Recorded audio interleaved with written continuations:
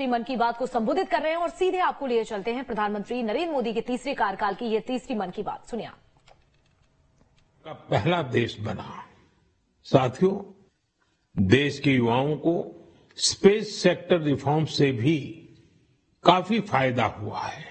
इसलिए मैंने सोचा कि क्यों ना आज मन की बात में स्पेस सेक्टर से जुड़े अपने कुछ युवा साथियों से बात की जाए। मेरे साथ बात करने के लिए स्पेस टेक स्टार्टअप गैलेक्स आई की टीम जुड़ रही है। इस स्टार्टअप को आईआईटी मद्रास के एल्यूमिनाई ने शुरू किया था। ये सारे नौजवान आज हमारे साथ फ़ोन लाइन पर मौजूद है। सुयस डेनिल, रक्षित, किशन और प्रणीत। आइए इन युवाओं के अनुभवों को जानते हैं। हेलो। हेलो। हेलो। नमस्ते जी। नमस्कार सर। अच्छा साथियों मुझे ये देखकर खुशी होती है कि आईआईटी मद्रास के दौरान हुई आपकी दोस्ती आज भी मजबूती से कायम है। यही वजह है कि आपने मिलकर गैलेक्स आई शुरू करने का फैसला किया। और मैं आज जरा उसके विषय में भी जानना चाहता हूँ। इस बारे में बताइए। इसके साथ ही ये भी बताएँ कि आपकी टेक्नोलॉजी से देश को कितना लाभ होने वाला है। जी, मेरा नाम सुयश है। हम लोग साथ में, जैसा आपने बोला, सब लोग साथ में आईआईटी मद्रास में मिले।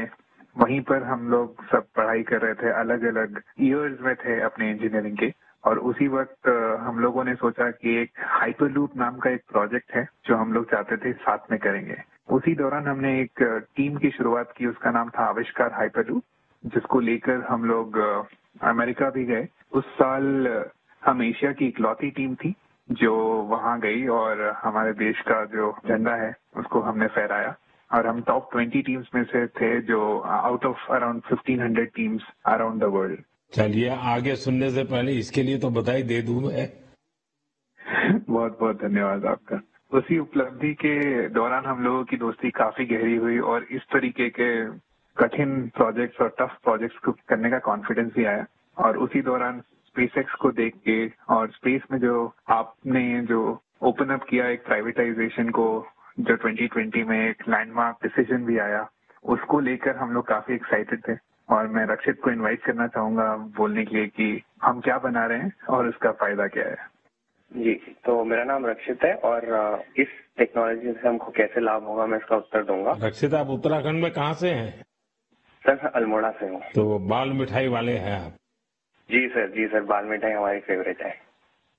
वो हमारा जो लक्ष्य सेन है ना वो मेरे लिए रेगुलरली बाल मिठाई खिलाता रहता है मुझे। हाँ रक्षित बताइए। तो हमारी जो ये टेक्नोलॉजी है, ये अंतरिक्ष से बादलों के आर पार देख सकती है और ये रात्रि में भी देख सकती है। तो हम इससे देश के किसी भी कोने के ऊपर रोज एक साफ़ तस्वीर खींच सकते हैं। और ये जो डेटा हमें आएगा, इसका उपयोग हम दो क्षेत्रों में विकास करने के लिए करेंगे। पहला है भारत को अत्यंत सुरक्षित बनाना। हमारे जो बॉर्डर्स हैं और हमारे जो ओशंस हैं सीज हैं, उसके ऊपर रोज हम मॉनिटर करेंगे और एनिमी की एक्टिविटीज़ को मॉनिटर करेंगे और हमारी आर्म्ड फोर्सेस को इंटेलिजेंस प्रोवाइड करेंगे। और दूसरा है भारत के किसानों को सशक्त बनाना। तो हमने ऑलरेडी एक प्रोडक्ट बनाया है भारत के झींगा किसानों के लिए, जो अंतरिक्ष से उनके पॉन्ड के पानी की क्वालिटी मेजर कर सकता है one tenth of the current cost में। और हम चाहते हैं आगे जाते हुए हम दुनिया के लिए best quality satellite images generate करें और जो ग्लोबल इश्यूज़ हैं ग्लोबल वार्मिंग जैसे इससे लड़ने के लिए हम दुनिया को best quality satellite data provide करें। इसका मतलब हुआ कि आपकी टोली जय जवान भी करेगी जय किसान भी करेगी। जी सर बिल्कुल। साथियों आप इतना अच्छा काम कर रहे हैं। मैं ये भी जानना चाहता हूँ कि आपकी इस टेक्नोलॉजी का प्रिसीजन कितना है? सर हम लेस देन 50 सेंटीमीटर के रेजोल्यूशन तक जा पाएँगे। और हम एक बार में approximately more than 300 square kilometre area को इमेज कर पाएँगे। चलिए मैं समझता हूँ कि ये बात जब देशवासी सुनेंगे तो उनको बड़ा गर्व होगा। लेकिन मैं एक और सवाल पूछना चाहूँगा। जी सर। स्पेस इकोसिस्टम बहुत ही वाइब्रेंट हो रहा है। अब आपकी टीम इसमें क्या बदलाव देख रहे हैं?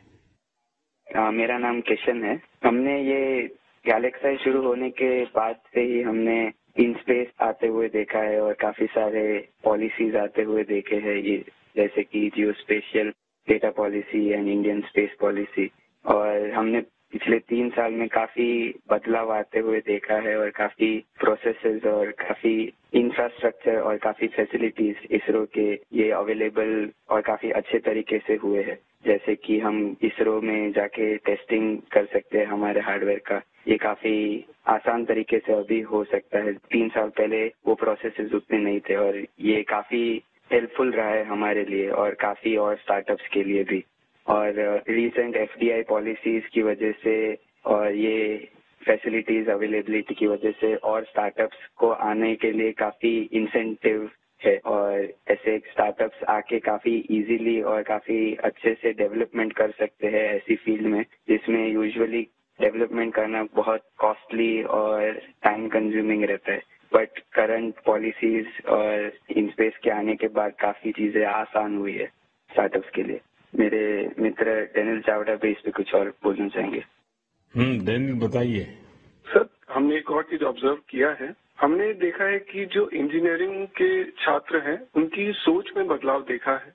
वो पहले बाहर जाके हायर स्टडीज़ परस्यू करना चाहते थे और वहाँ काम करना चाहते थे और स्पेस डोमेन में। बट अब क्योंकि इंडिया में स्पेस इकोसिस्टम बहुत अच्छी तरीके से आ रहा है तो इस कारण वो लोग इंडिया वापस आके इस इकोसिस्टम के पार्ट बनना चाहते हैं। तो ये काफ़ी अच्छा फीडबैक हमें मिला है और हमारे खुद की कंपनी में कुछ लोग वापस आके काम कर रहे हैं इसी वजह से। मुझे लगता है कि आपने दोनों जो पहलू बताए हैं, किशन ने और डेनिल दोनों ने, मैं ज़रूर मानता हूँ कि बहुत से लोगों का इस तरफ़ ध्यान नहीं गया होगा। कि एक क्षेत्र में जब रिफॉर्म होता है तो रिफॉर्म का कितने मल्टीपल इफेक्ट्स होते हैं, कितने लोगों का लाभ होता है और जो आपके वर्णन से और क्योंकि आप उस फ़ील्ड में हैं तो आपको ध्यान में ज़रूर आता है और आपने ऑब्ज़र्व भी किया है कि देश के नौजवान अब इस फ़ील्ड में यहीं पर अपना भविष्य आजमाना चाहते हैं, अपने टैलेंट का उपयोग करना चाहते हैं। बहुत अच्छा ऑब्जर्वेशन है आपका। एक और सवाल मैं पूछना चाहूँगा आप उन युवाओं को क्या संदेश देना चाहेंगे जो स्टार्टअप्स और स्पेस सेक्टर में सफलता हासिल करना चाहते हैं? मैं प्रणित बात कर रहा हूँ और मैं एक सवाल का जवाब दूँगा। हाँ प्रणीत बताइए। सर मैं अपने कुछ सालों के एक्सपीरियंस से दो चीज़ें बोलना चाहूँगा। सबसे पहली इज़ अगर अपने को स्टार्टअप करना हो तो यही मौका है। क्योंकि पूरी दुनिया में इंडिया आज वो देश है जो वर्ल्ड का सबसे फास्टेस्ट ग्रोइंग इकोनॉमी है।